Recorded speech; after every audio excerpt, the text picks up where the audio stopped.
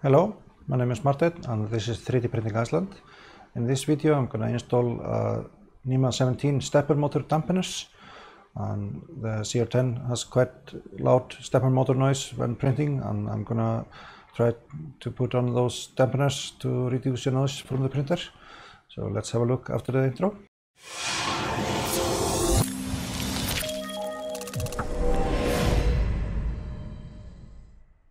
So those stepper motor drivers I got from AliExpress and you can get them from Amazon also. But, uh, the Amazon store didn't ship to Iceland, so I used so I used AliExpress to get mine. But those are just normal NEMA 17 stepper motor dampeners. If you Google that, then you'll find plenty of them.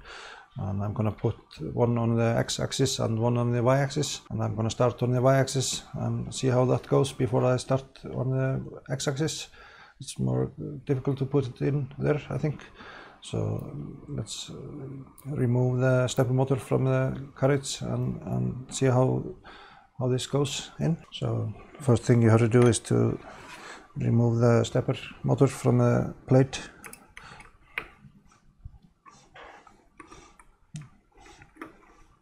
And you probably would have to loosen the belt. Let's see how, how things go.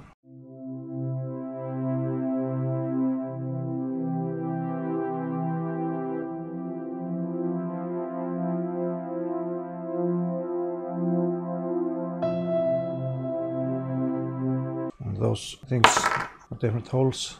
One are, two holes are larger and one has threads to them. So the larger holes mount to the motor and the one with the threads they are used to mount to the bracket on the printer.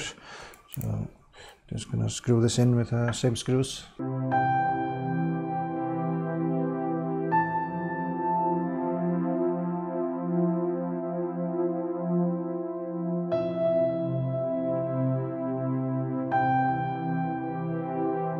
I can put the motor back in and I have to get the belt on.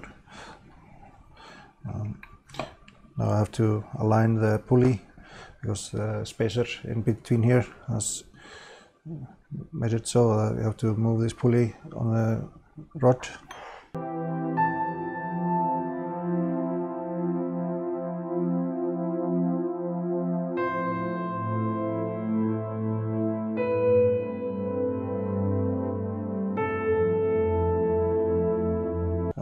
Put in the screws to hold the dampener.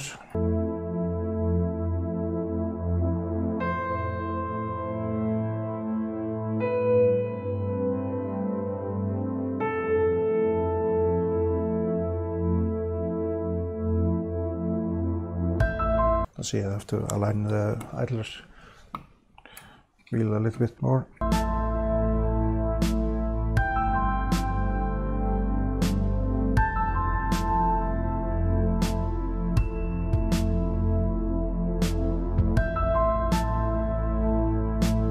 This is working and now you can see I can turn the motor a little bit through the dampener. I think the belts are in a pretty good shape so it's not a problem. So that was fairly easy to install. And I'm to put it on the x-axis. With the x-axis you have a little bit more stuff around it. So you have to get this label off to get access to the screws.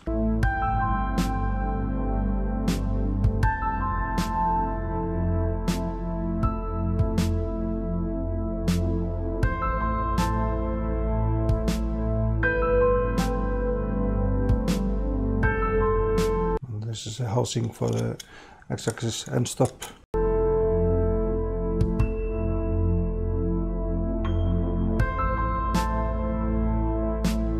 Now I have to do the same, put this on. So now with the longer screws, uh, you have to get two M3 screws to bolt this on the motor. I'm just using short screws to get this in place. And those are like six millimeters screws I'm using, M3.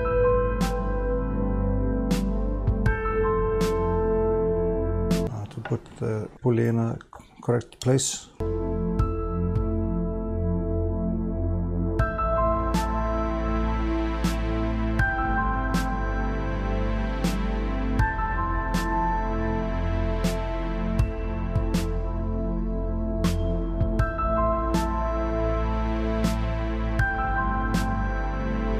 So let's try to install the housing again.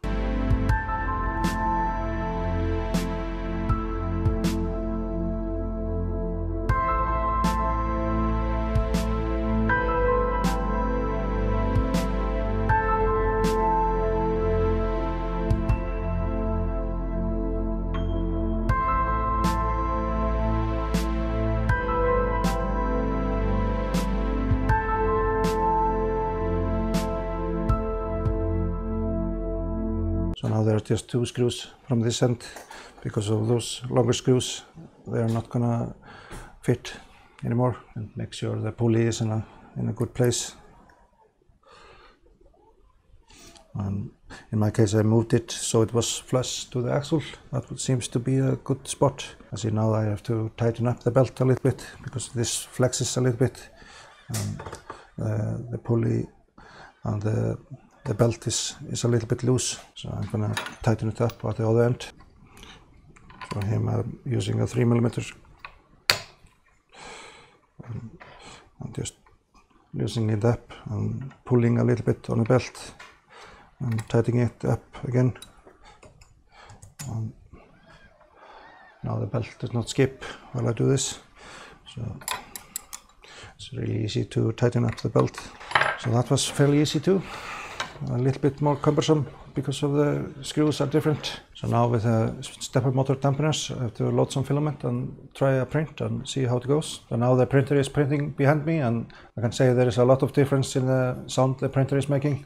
I'm gonna print a waste mode print and, and listening to the stepper motor now is, is it's a huge difference. So this is something I would try out if you are having a CR10 printer.